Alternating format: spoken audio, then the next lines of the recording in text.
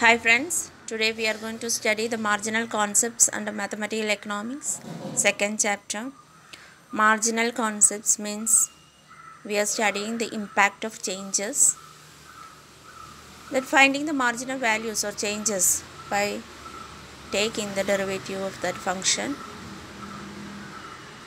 We going to find the change in y due to change in x. That is, we are taking the differentiation of the function. The differentiation, total differentiation or partial differentiation. Total differentiation we take dy by dx and partial differentiation dou y by dou x when there are x and y variables are present or more than one variable is present. The derivative of its respective total function is the marginal value. So, marginal revenue means derivative of total revenue function. Marginal cost is the derivative of total cost function. Let's find marginal utility. Marginal utility means change in total utility due to one unit change in quantity consumed. That is, marginal utility is equal to the derivative of total utility dtu by dq. Let's find an example. u is a is equal to xy plus 3x plus y. Then marginal utility of x, how we find? That is dou u by dou x. It is, let's find where the x variable are present in the utility function. That is x, y. So here x and y are present. So the uh, coefficient of x, that is y, we take as answer then next is 3x so the coefficient of x is 3 so dou u by dou x is the difference differentiated. And the answer is y plus 3 then likewise we are going to find the marginal utility of y also. Let's check where the y variables are present in the first term that is xy here y variable is present. The coefficient of y is x. We take x as answer. Then again in the second term there there is 3x now y is present so we leave it. Third term that is y. The value of y is 1 so take it as 1 so marginal utility of y is x plus 1 let's check marginal propensity to consume.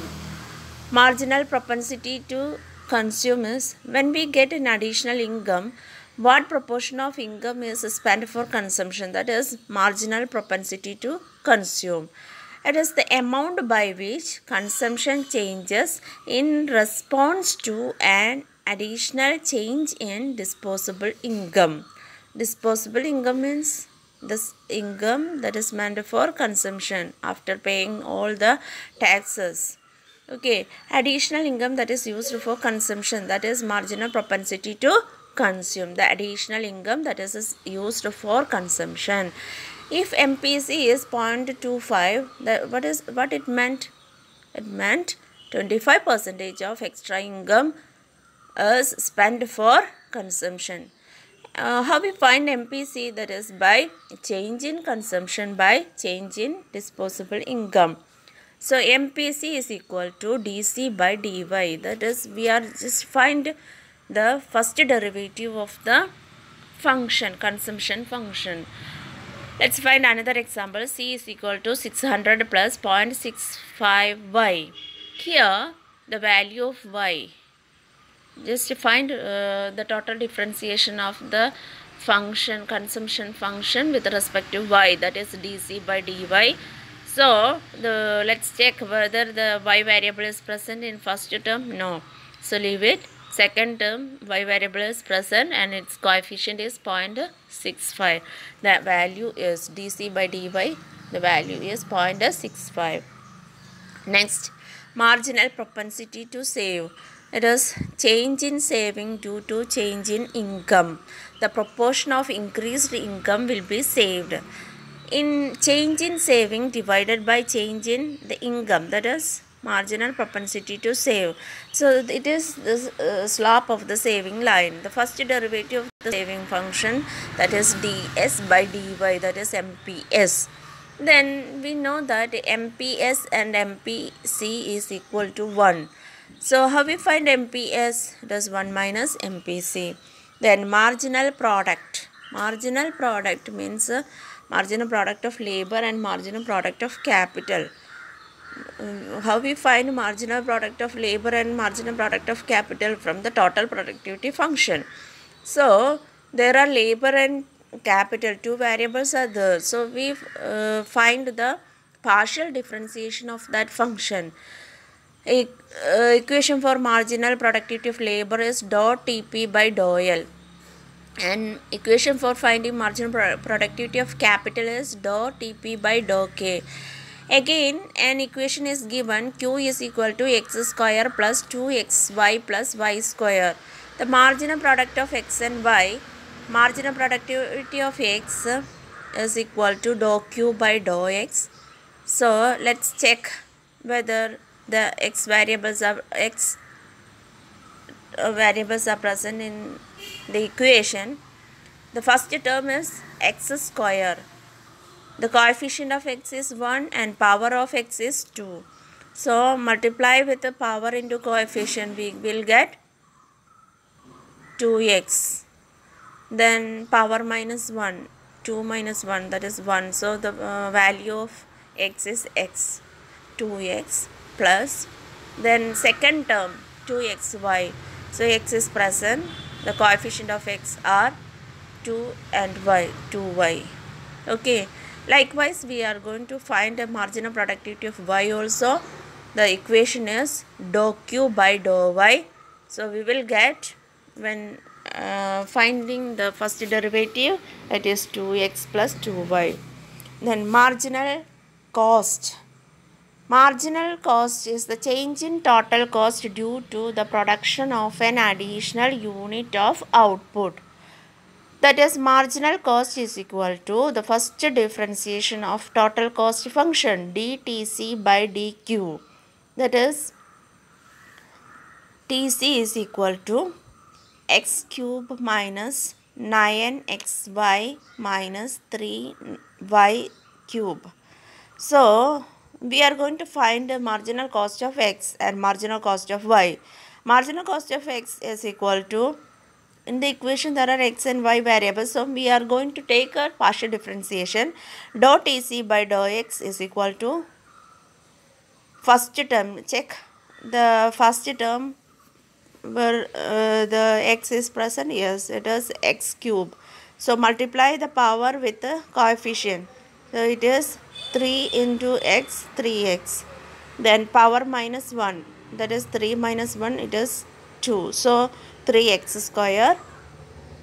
Again in the second term that is minus 9xy x is present. So the coefficient are taken as answer that is minus 9y then marginal cost of y that is dot tc by dou y.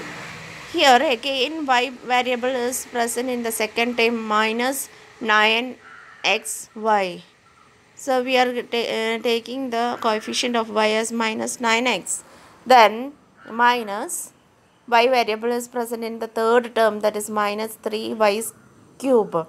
So multiply the power into coefficient 3 into minus 3 9 minus 9 then y, y the power of y is 3 3 minus 1 that is 9 y square then marginal revenue how we find marginal revenue is the uh, change in total revenue due to the production of an additional unit of output. So, marginal revenue is equal to dou TR by dou X. Then, let's find another example. The total revenue function is 2xy raised to 4 plus 7x cube y. So, marginal revenue of x is equal to dot er by dot X. Here, uh, as usual we are uh, checking whether the x variable is present in the first term yes it is 2xy raised to 4 So the power of x is 1 and coefficient of x is 2y raised to 4. So we take the coefficient 2y raised to 4 plus then in the next term there is, there is 7x cube y.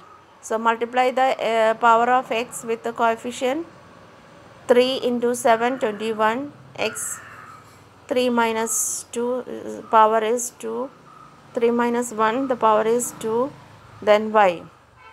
So answer is 21 x square y.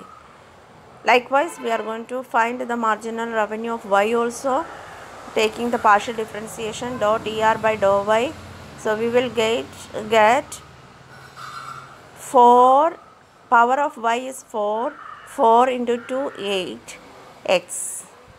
Then the power of y is 4 minus 1 that is 3 so power of y is 3 so we will get 8xy cube plus in the next term there is 7x cube y. So the coefficient of y is 7x cube. Marginal rate of substitution. Marginal rate of substitution we find in indifference curve analysis. The, the amount of one good the consumer is willing to give up for getting an additional unit of another good. So the consumer is staying back in the same indifference curve a marginal rate of substitution of x for y MRS xy that is change in good y due to one unit change in the stock of good x. So we how we find marginal uh, rate of substitution of x for y? That is marginal utility of x by marginal utility of y. So marginal utility of x is equal to dou u by dou x. Marginal utility of y is equal to dou u by dou y so utility function a problem is given as u is equal to 3x plus y. So marginal utility of x is equal to dou u by dou x that is 3. The simple function 3x plus y the coefficient of x is 3. So take as 3. Then marginal utility of y is equal to dou u by dou y. So y variable is present the value of y is 1 so it is 1. Then how we find marginal uh, rate of substitution? Marginal utility of x by marginal utility of y. So it is 3 by 1. Answer is 3. Marginal rate of technical substitution. Another variable uh, another marginal value concept that is marginal rate of technical substitution we find it in isoquant analysis that is amount of one input willing to give up for obtaining an another unit of other good that is MRTS LK is the amount of input K that the producer is willing to give up for getting an additional unit of uh, L. That is MRTS LK is equal to MPL by MP, MPK that is dou Q by dou L by dou Q by dou K. When we uh, arrange, rearrange it, we will get as minus dou K by dou L dou, k, q by k is cancelled out. And the negative of the slope of an isoquant that is negative value. So we eliminate usually we eliminate the negative value by considering the only the absolute values. Then mrts xy that is uh, another problem is given that is q is equal to 6x square plus 3xy plus 2y square MRTS xy is equal to when uh, we are going to find MRTS xy when y is equal to 4 and x is equal to 5. So let's find uh, MRTS xy by marginal productivity of x by marginal productivity of y. We know that marginal productivity of x is equal to dou q by dou x and marginal productivity of y is equal to dou q by dou y. So differentiate the function with respect to x first. So here the function the first term is uh, having x that is 6x square. The power of x is 2 and coefficient of x is 6 multiply the power into coefficient that is 6 into 2 so here it is 12x plus. In the next term also there is x present that is 3xy the coefficients of uh, x is 3y so it is we are taking the coefficient. Likewise we are going to find marginal productivity of y also that is dou q by dou y and uh, substitute the values x and y as 4 and 5 then we will get as like this. Then average revenue and marginal revenue average revenue is the total revenue generated per unit of output sold that is tr by q. Then marginal revenue is the addition to total revenue by the sale of additional unit of commodity that is dtr by dq in perfect competition we know that AR and price are the same AR MR and price are the same. Then let's find the relationship between AR MR relationship AR is falling when MR is less than AR. AR is rising when MR is greater than AR. When AR is equal to MR, AR won't change. The perfect competition AR and MR are uh, same, so it is a horizontal straight line. In monopoly or imperfect competition, MR lies below. Then average cost and marginal cost. AC that is average cost. Cost of producing one unit of output that is AC is equal to TC by Q. MC is addition to total cost by the production of an additional unit of commodity that is DTC by DQ when MC is greater than AC, AC is rising. When MC is less than AC, MC is falling. MC cut AC at its minimum point. These are the relationship between AC and MC. Then AC, MC, slope of AC is positive. MC lies above AC and slope of AC will be 0 when AC is equal to MC. Slope of AC will be negative if only the marginal cost curve lies below AC. Then again uh, question is given. Uh, find MC that is DTC by DQ find the minimum AC how we find minimum AC by equating the first deriva derivative into 0 then find the values of values likewise. The example is given. Just go through the example. Find the values. If the value is minus that means the function is maximum. Then concept of elasticity that is to measure the relative change in one variable due to relative change in another variable. Demand elasticity E is greater than 1 means elastic demand. E is less than 1 means inelastic demand. E is equal to 1 that is unitary elastic. Supply of elasticity dou Q by Q by dou P by P. That is elasticity of supply is equal to dou Q dQ by dP into P by Q. Price elasticity, how we find? It is dou Q by dou P into dQ by dP into P by Q. That is price elasticity. Here the notion N is also given. It is uh, used for uh, representing elasticity. EP is also price elasticity that is equal to 0 means perfectly inelastic demand and is equal to 1 or elasticity is equal to 1 means unitary elastic and is between 0 and 1 means inelastic demand and is greater than 1 that is means elastic demand and is equal to infinity means perfectly elastic. So there are five concept of elasticity concept of elasticity. We are considering a linear demand function. Linear demand function means uh, it is a straight line equation. And when we plot the points on a graph we will get a straight line. Q is equal to b0 minus b1p the slope of first derivative that is dq by dp that is uh, here dq by dp in the equation q that is p p variable its coefficient is b1 it's so it is b1 sometimes the equation may be delta q by q divided by delta p by p. Delta denoting the change.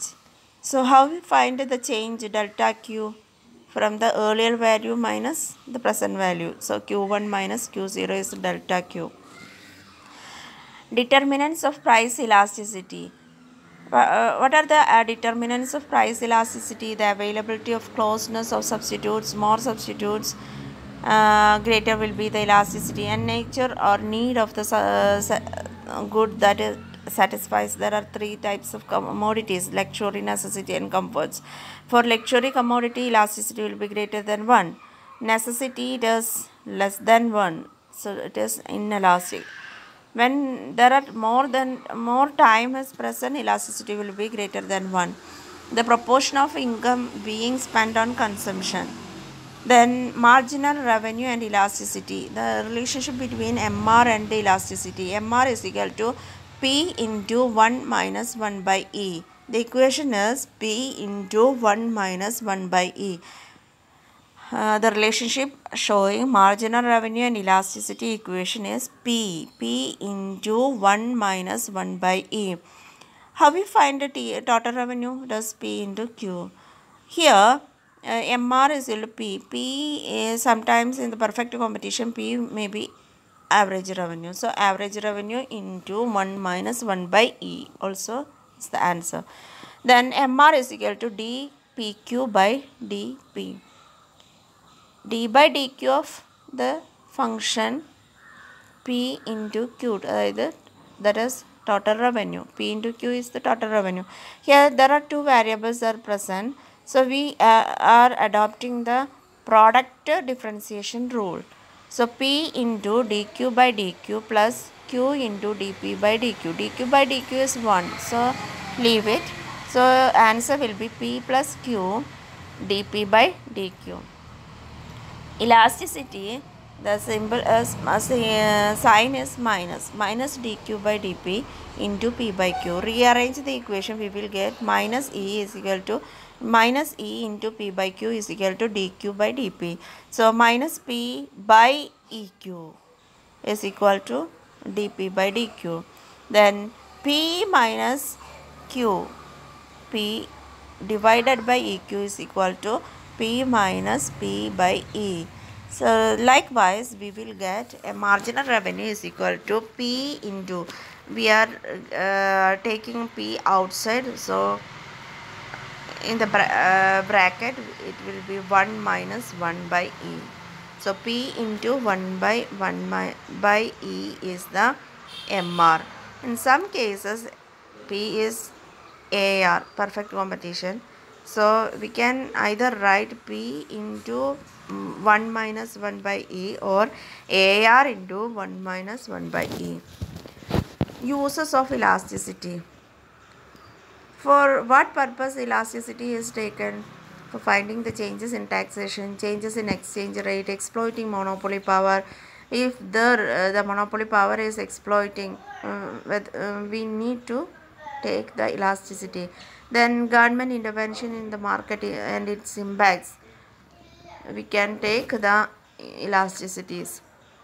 As income increases the expenditure on food declines. That means uh, the Ernst Engel developed an concept that is income increases the expenditure on food items decrease. So it is a concept of Engel function. It was derived in 1857 and then it formulated an Engel's law that is percentage of income spent on food declines as income increases. It is known as Engel's law. Then income elasticity that is dy is equal to delta q by delta y into p by q. If normal good elasticity will be greater than 1 or positive. Necessary elasticity lies between one, 0 and 1 luxurious elasticity is greater than 1 inferior good uh, that is uh, value will be negative and elasticity will be less than 1 then cross elasticity of demand. Cross elasticity of demand relates to price of good and its uh, demand. Okay? Then cross elasticity there are when there are two goods present x and y so so exy or e12 is equal to dou q by dou x by dou py into py by dou x, dou x qx. So positive for substitutes. Value will be positive for substitute goods. If we get the value uh, as positive, uh, we assume that it is substitute goods. Then in the textbook it uh, taken as E12 x5 uh, for uh, the values x and y we are taking 1 and 2. So E12 is equal to dou q1 by dou p2 into p2 by q1. Let's study the equation. We will get a problem for finding cross elasticity. E12 is equal to dou q1 by dou p2 into p2 by q1. Then Engel function, the concept closely related to income and cross elasticity and it describes a, how a consumer's expenditure on some goods or services relates to its uh, total income.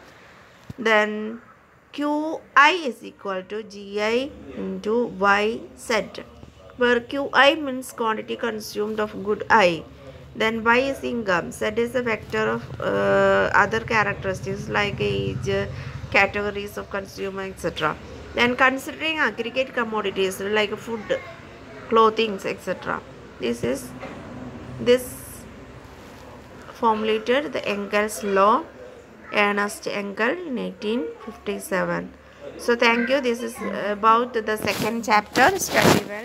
All the best. Thank you